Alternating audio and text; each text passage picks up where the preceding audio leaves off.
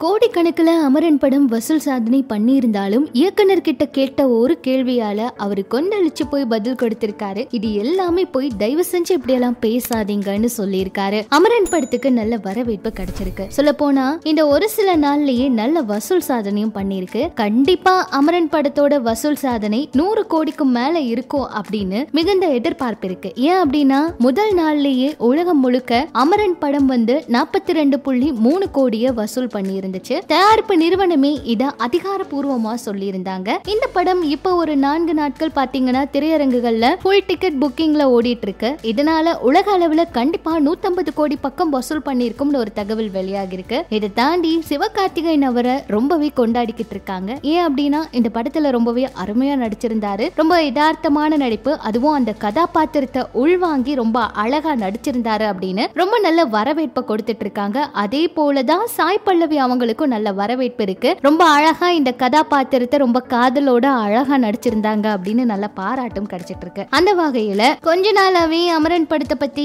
ஏகப்பட்ட செய்திகள் சமூக வலைதளங்கள்ல போயிட்டு இருக்கு. இந்த படத்தை இப்பவும் விமர்சனம் பண்றவங்களும் இருக்காங்க. ஒரு சில விஷயங்களை வச்சு தேவையில்லாத கருத்துக்களை பதிவிட்டு இருக்காங்க. அந்த வகையில இயக்குனர் ஒரு சில விஷயங்களை உடைச்சு பேசியிருக்காரு. கமல் சார் வந்து இந்த கதையில தலையிடுவார் அப்படின்னு எல்லாம் நிறைய பேர் வந்து சொல்றாங்க. ஆனா ஒரு நாளும் அவர் அதை செஞ்சது கிடையாது. உண்மையில வேறு ஒரு தயாரிப்பாளர் தான் இந்த படத்தை தயாரிப்பதா இருந்துச்சு. கமல் சார் இந்த படத்தை வெளியிட்டா நல்லா இருக்கும்னு நாங்க நினைச்சோம். ஆனா கதை பிடிச்சதுனால அவரே எல்லாமே செய்து கொடுத்தாரு. அவர் மட்டும் இல்லைன்னா அமரன் படம் இவ்வளவு தரத்தோட வெளியே வந்திருக்கவே வந்திருக்காது. அவ்வளவு தூரம் தரமா படம் வந்து ரிலீஸ் ஆகிருக்கு சொல்ல போனா அவரு கொடுத்த ஆதரவு அவர் கொடுத்த சப்போர்ட்னால தான் இந்த ஒட்டுமொத்த டீமோட ஹார்ட் ஒர்க்னால தான் இந்த படம் ரொம்பவே சூப்பரா இருக்கு அப்படிங்கிற மாதிரி அவர் சொல்லியிருந்தாரு. காஷ்மீர்ல சில காட்சிகள் எல்லாம் படம் எடுக்க அனுமதியே இல்லையாமா? ஆனா கமல் சார் வந்து அனுமதி எல்லாம் வாங்கி கொடுத்திருக்காராம். அது மட்டும் இல்லாம நான் கேட்டது எல்லாமே எனக்கு கிடைச்சது. அது எல்லாமே கமல் சார் எனக்கு இந்த படத்துக்காக பண்ணி கொடுத்தாரு. கதை அவருக்கு ரொம்ப பிடிச்சதுனாலையும் கதாபாத்திரங்களை ரொம்பவே அவர் ரசிச்சதுனாலையும் தான் இந்த விஷயத்தை அவர் பண்ணி கொடுத்தாரு. அது மட்டும் இல்லாம பழகிறதுக்கும் அணுகிறதுக்கும் அவர் ரொம்ப எளிமையான ஒருத்தர் ரொம்ப நல்ல ஒரு நபர் அப்படின்னு சொல்லி இயக்குனர் ஒரு சில விஷயங்களை ரொம்ப வெளிப்படையா பேசியிருந்தாரு. கொஞ்ச நாளா அமரன் படம் பத்தியும் பொதுவாவே எல்லார பத்தியும் ஏதாவது வதந்திகள் பரவும் இல்லையா? அதே போலதான் கமல் சாரை பத்தியும் நிறைய விஷயங்கள் வந்து வெளியாச்சு. அதாவது கமல் சார் கிட்ட ஒரு கதையை சொல்ல போனா அவரு இயக்குனரோட கதைக்குள்ள தலையிட்டு அந்த கதையவே மாத்திருவாரு. அவருக்கு பிடிச்ச மாதிரி எடுக்க சொல்லுவாரு. இப்படி ஏகப்பட்ட விஷயங்கள். லோகேஷ் அவர்கிட்ட கூட இப்படிதான் கமல் சார் பண்ணாரு அப்படி இப்படின்னு ஏகப்பட்ட வதந்திகள் பரவுச்சு. இது எல்லாத்துக்குமே முற்றுப்புள்ளி வைக்கிற மாதிரி அமரன் படத்தோட இயக்குனர் ரொம்ப வெளிப்படையா அவரு எங்களோட இஷ்டத்துக்கு படத்தை எடுக்க விட்டாரு. அதனால அதனாலதான் இந்த ஒரு அவுட் கிடைச்சது. இது வரைக்குமே எங்க கிட்ட எதையுமே மாட்டுங்கன்னு அவர் சொன்னதே கிடையாது. ரொம்ப